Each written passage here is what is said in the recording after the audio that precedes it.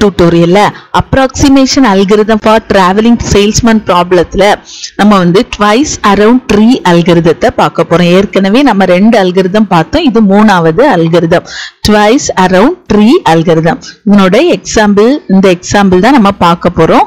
So first இந்த எக்ஸாம்பிளை solve பண்றதுக்கு முன்னால இந்த அல்கிருதத்தோட ஸ்டெப்ஸ் என்னென்னு சொல்லி பார்த்துக்க போறோம். ஸோ மூணு ஸ்டெப்ஸ் இருக்கு. ஃபர்ஸ்ட் ஸ்டெப் என்னன்னா நம்ம வந்து மினிமம் ஸ்பேனிங் ட்ரீயை கன்ஸ்ட்ரக்ட் பண்ணணும் அதான் construct minimum spanning tree minimum spanning ட்ரீயை கன்ஸ்ட்ரக்ட் பண்றதுக்கு வந்து பிரிம்ஸ் அல்லது க்ரூஸ்கல்ஸ் அல்கிருதம் யூஸ் பண்ணி நம்ம கன்ஸ்ட்ரக்ட் பண்ணலாம் ஃபர்ஸ்ட் வந்து ஸ்டெப் வந்து மினிமம் ஸ்பேனிங் ட்ரீயை கன்ஸ்ட்ரக்ட் பண்ணணும் அடுத்து வந்து perform walk around the tree வந்து நம்ம ஸ்டார்டிங் வெர்டெக்ஸ்ல இருந்து வாக்கை வந்து ஸ்டார்ட் பண்ணணும் ஸோ ஒவ்வொரு வேர்டெக்ஸை விசிட் பண்ண பண்ண ஸோ அந்த வேர்டெக்ஸை நம்ம வந்து ரெக்கார்ட் பண்ணிகிட்டே வரணும்.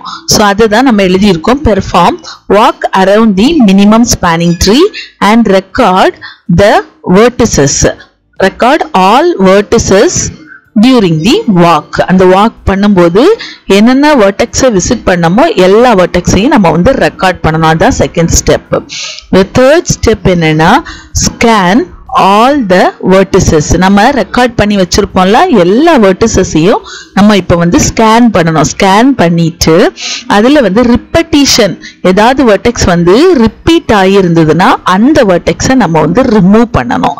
அதான் எழுதியிருக்கோம் scan all vertices and eliminate repeated occurrences ஏதாவது வேர்டெக்ஸ் வந்து ரிப்பீட்டடாக இருந்ததுன்னா அந்த வேர்டெக்ஸை வந்து நம்ம எலிமினேட் பண்ணணும். இப்போ நம்ம இந்த ப்ராப்ளத்தை பண்ண ஸ்டார்ட் பண்ணுவோம். So first step construct minimum spanning tree so first வந்து மினிமம் ஸ்பேனிங் ட்ரீயை கன்ஸ்ட்ரக்ட் பண்ணணும். ஸோ இதுக்கு வந்து ஏற்கனவே பார்த்ததுபடி நம்ம வந்து பிரிம்ஸ் அல்கிருதம் இருக்கு க்ளூஸ்கல்ஸ் அல்கிருதம் இருக்கு. ஏதாவது ஒரு அல்கிருதத்தை யூஸ் பண்ணி நம்ம மினிமம் ஸ்பேனிங் ட்ரீயை கன்ஸ்ட்ரக்ட் பண்ணணும்.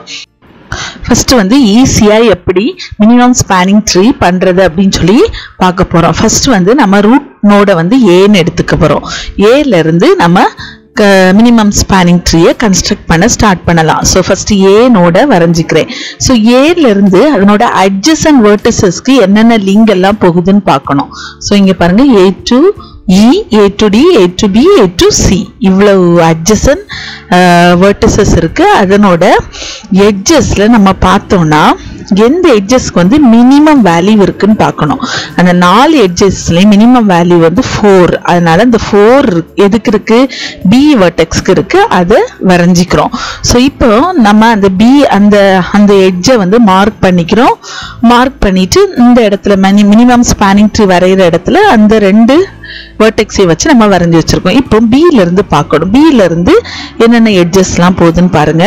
B to E B to D B to C அதே நேரத்தில் ஏல இருந்து எதெல்லாம் நம்ம வரையிலையோ எட்ஜஸ் அதையும் கன்சிடர் பண்ணணும். பில இருந்து எந்தெந்த எட்ஜஸ் லீவ் ஆகுதுன்னு பார்க்கணும்.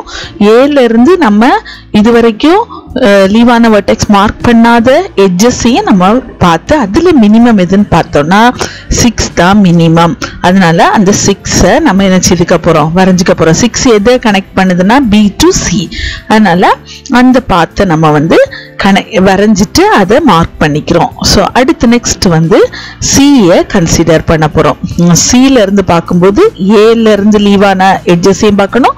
பியிலேருந்து இருந்து லீவான எட்ஜஸும் சியிலேருந்து இருந்து. பாருங்க எயிட் இருக்கு பில இருந்து நைன் இருக்குது நைன் இருக்கு டுவெல் இருக்குது ஆனால் பிலருந்து எயிட்டும் இருக்கு.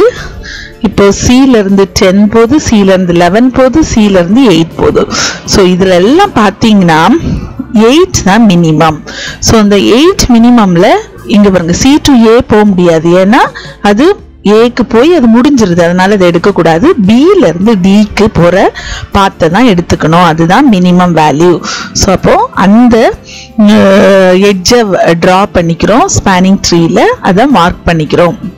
இப்போ அடுத்து வந்து டி வேர்டெக்ஸை கன்சிடர் பண்ணணும்.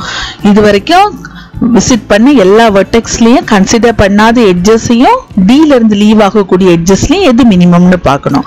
ஸோ இதில் எல்லாம் பார்த்தீங்கன்னா பாருங்கள் மினிமம் வேல்யூ செவன் செவன் தான் மினிமம் அதனால் அந்த எட்ஜை மார்க் பண்ணிக்கிறோம். அந்த எட்ஜை கனெக்ட் ஆகக்கூடிய வெர்டெக்ஸையும் மார்க் பண்ணிக்கிறோம். அந்த டயக்ராம்லேயும் நம்ம மார்க் பண்ணிக்கிறோம். ஸோ இதுதான் பாருங்கள் நம்ம வரைஞ்சி வச்சிருக்கிற ட்ரீ தான் மினிமம் ஸ்பேனிங் ட்ரீ ஸோ இப்போ இந்த மினிமம் ஸ்பேனிங் ட்ரீ கன்ஸ்ட்ரக்ட் பண்ணியாச்சு first step minimum spanning tree இது நம்ம பிரிம்ஸ் அல்கிருதம் யூஸ் பண்ணி கன்ஸ்ட்ரக்ட் பண்ணியிருக்கோம். ஸோ நான் இப்போ என்ன பண்ண போகிறோம்னா அடுத்த ஸ்டெப் வந்து செகண்ட் ஸ்டெப் என்னென்னா perform walk around the minimum spanning tree and record all vertices so root வேர்டெக்ஸ்லேருந்து எல்லா வேர்டெக்ஸ்க்கும் நம்ம வந்து வாக் பண்ண போகிறோம் ஸோ இந்த வாக் வந்து நம்ம என்ன அல்கிருதம் யூஸ் பண்ணி பண்ண போகிறோம்னா டிஎஃப்எஸ் சர்ச் யூஸ் பண்ண போகிறோம் டிஎஃப்எஸ்னால் நமக்கு தெரியும். டெப்த் ஃபஸ்ட்டு சர்ச் யூஸ் பண்ணி தான் நம்ம வந்து வாக் பண்ண போகிறோம் ஸோ இப்போ ரூட் நோடில் ரூட் நோட் ஏ அது வந்து ஸ்டார்ட் பண்ண போகிறோம் ஒவ்வொரு வட்டெக்ஸியா விசிட் பண்ணுவோம். டெட் எண்டு ரீச் ஆச்சுன்னா பேக் ட்ராக் பண்ணி ப்ரீவியஸ் நோடுக்கு போயிட்டு ஃபைனலாக ஏகே நம்ம ரிட்டர்ன் வரணும். அதுதான் வாக் ரூட்லேருந்து ஸ்டார்ட் பண்ணி ஏலேருந்து ஸ்டார்ட் பண்ணி எல்லா வட்டக்ஸையும் விசிட் பண்ணிவிட்டு மறுபடியும் ஏக்கு ரீச் ஆகணும். ஸோ இதுதான் இப்படி தான் நம்ம டிஎஃப்எஸ் வந்து பர்ஃபார்ம் பண்ண போகிறோம் ஸோ ஃபஸ்ட்டு பாருங்கள் ஏ டு பி வந்திருக்கோம். ஸோ ஏ டு பியை நம்ம எழுதிக்கிறோம். அடுத்து பி டு சி வர்றோம். பி டு சி இப்போ அந்த எட்ஜையும் நம்ம எழுதிக்க போகிறோம் பி டு சி அடுத்து பாருங்க சில இனி எந்த எட்ஜும் இல்லை. அதனால பேக் ட்ராக் பண்ணி மறுபடியும் பிக்கு போகிறோம் ஸோ அதை நம்ம இப்படி ட்ரா பண்ணி மார்க் பண்ணிக்க போகிறோம் பிக்கு போகிறோம் அப்போ அந்த வட்டெக்ஸையும் நம்ம எந்தெந்த வட்டெக்ஸை விசிட் பண்ணுறோமோ அந்த வட்டெக்ஸ் எல்லாமே நம்ம ரெக்கார்ட் பண்ணணும். இப்போ பிக்கு பியை ரெக்கார்ட் பண்ணியாச்சு. அடுத்து பியிலேருந்து மறுபடியும் டிக்கு போகிறோம் ஸோ டிக்கு போன பிறகு அந்த டி வர்டெக்ஸையும் நம்ம ரெக்கார்ட் பண்ணிக்கிறோம். அடுத்து டில இருந்து இப்போ e ஈக்கு போறோம். ஸோ ஈக்கு e போன பிறகு அந்த வர்டெக்ஸையும் நம்ம இப்போ ரெக்கார்ட் பண்ணிக்க போறோம். டி டு இ இப்போ e ஈல இருந்து எந்த வர்டெக்ஸுமே இல்லை இனிமே மறுபடியும் நம்ம ஏகே மறுபடியும் போய் ரீச் ஆகணும். அப்போ ஈல இருந்து மறுபடியும் டிக்கு வர்றோம். ஸோ அப்போ அதையும் மறுபடியும் நம்ம ரெக்கார்ட் பண்ணிக்கிறோம். ஸோ இ e டு டின்னு எழுதிக்கிறோம். அடுத்து டியிலிருந்து பிக்கு வாக் பண்ணுறோம் அப்போ நம்ம பி வர்டெக்ஸை ரெக்கார்ட் பண்ணணும். ஸோ இப்போ டியிலிருந்து பிக்கு வாக் பண்ணுறோம் பி வர்டெக்ஸையும் நம்ம ரெக்கார்ட் பண்ணிக்கிறோம். அப்போ டி டு பின்னு எழுதிக்கிறோம். அடுத்து நெக்ஸ்ட்டு பியிலிருந்து ஏக்கு போகிறோம் ஸோ சோர்ஸ்னோட ரீச் பண்ணிட்டோம். ஸோ அந்த வர்டெக்ஸையும் ரெக்கார்ட் பண்ணிக்கிறோம். ஏன்னு சொல்லி ரெக்கார்ட் பண்ணிக்கிறோம். ஸோ இப்போ பாருங்கள் இதுதான் எல்லா வேர்டெக்ஸையும் நம்ம வாக் பண்ணுறது ஸோ இதுக்கு வந்து நம்ம டிஎஃப்எஸ் சர்ச் யூஸ் பண்ணி நம்ம வாக்கை பெர்ஃபார்ம் பண்ணியாச்சு. இப்போ நமக்கு ஒரு ஒரு பெரிய பாத் கிடச்சிருக்கு. இப்போ தேர்ட் ஸ்டெப் பெர்ஃபார்ம் பண்ண போகிறோம் scan all vertices and eliminate repeated occur occurrences ரிப்பீட்டடாக வரக்கூடிய வெர்டிசஸை நம்ம எலிமினேட் பண்ண போகிறோம் ஃபர்ஸ்ட் வந்து ஸ்டார்டிங் வெர்டெக்ஸ் வந்து ஏ ஸோ அந்த ஏ வெர்டெக்ஸை மார்க் பண்ணிக்கிறோம். அடுத்து நெக்ஸ்ட் வெர்டெக்ஸ் வந்து பி பியை மார்க் பண்ணிக்கிறோம். அடுத்து நெக்ஸ்ட் வர்டெக்ஸ் வந்து சி அதையும் மார்க் பண்ணிக்கிறோம். அடுத்து வந்து நெக்ஸ்ட் வர்டெக்ஸ் வந்து பி இப்போ நம்ம மார்க் பண்ண எட்ஜஸ் எல்லாம் நம்ம எழுதிக்கிறோம். ஸோ இதெல்லாம் மார்க் பண்ணியிருக்கோம்? A to B B to C அடுத்து பாருங்க. நெக்ஸ்ட் என்ன? பி வந்து ரிப்பீட்டட் வர்டெக்ஸ் அதனால அதை எழுதக்கூடாது. அடுத்து டி வந்து விசிட் பண்ணுறோம் டி எழுதியிருக்கோம் அடுத்து இ இயும் எழுதியிருக்கோம். அடுத்து டி மறுபடியும் ரிப்பீட்டட் அக்கரன்ஸ் அதை எழுதக்கூடாது. பியும் ரிப்பீட்டட் அதை எழுதக்கூடாது. கடைசியாக நம்ம எங்கே ரீச் பண்ணோம்? ஏ ஸோ அப்போ அதை எழுதிக்கணும். ஸோ ஃபஸ்ட்டு வர்டெக்ஸும் லாஸ்ட்டு வர்டெக்ஸும் வந்து சேமா இருக்கலாம். இன் பிட்வீனில் இருக்கக்கூடிய வர்டெக்ஸ் வந்து ரிப்பீட்டட் அக்கரன்சஸ் வந்து அந்த வர்டெக்ஸஸில் இருக்கக்கூடாது. இப்போ நம்ம கண்டுபிடிச்ச பாத்துல பாருங்க. ஏ டு பி இருக்கு. பி டு சி இருக்கு. சி டு டி வந்து அந்த டயக்ராமில் இல்லை. அதனால நம்ம டாட்டடாக வரைஞ்சிருக்கோம். அடுத்து நெக்ஸ்ட் டி டு இ இருக்கு. E இ டு ஏயும் நமக்கு கிவன் டயக்ராமில் இருக்கு. ஆனால் நம்ம கண்டுபிடிச்ச மேனிங் ஸ்பேனிங் ட்ரீல இல்லை. அதனால டாட்டடாக வரைஞ்சிட்டோம்.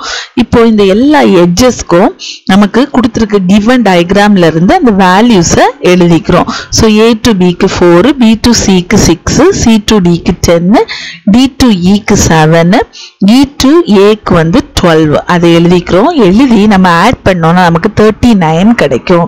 ஸோ இப்போ நம்ம இதுதான் அப்ராக்சிமேஷன் அல்கிருதத்தோட சொல்யூஷன் இப்போ வந்து இந்த அப்ராக்சிமேஷன் அல்கிரதத்தோட குவாலிட்டியை எப்படி மெஷர் பண்ணலான்னா accuracy ratio accuracy ரேஷியோனா R of SA is equal to F of SA divided by F of S star F of எஸ்ஏங்கிறது இப்போ நம்ம கண்டுபிடிச்ச இந்த அப்ராக்சிமேஷன் அல்கிரதத்தோட சொல்யூஷன் என்னது? தேர்ட்டி நைன் அடுத்து எஃப் ஆஃப் எஸ் ஸ்டாருங்கிறது எக்ஸாக்ட் அல்கிரதத்தோட சொல்யூஷன் இப்போ நம்ம எக்ஸாக்ட் சொல்யூஷன் வந்து எக்ஸாஸ்டிவ் சர்ச் பர்ஃபார்ம் பண்ணி கண்டுபிடிச்சு நம்ம accuracy ரேஷியோ இந்த ப்ராப்ளத்துக்கும் நம்ம கால்குலேட் பண்ணலாம். அப்படி கால்குலேட் பண்ணும்போது நமக்கு வந்து கண்டிப்பாக அந்த அப்ராக்சிமேஷன் அல்கரிதம் வந்து நியர் ஆப்டிமல் சொல்யூஷன் தான் தரும்.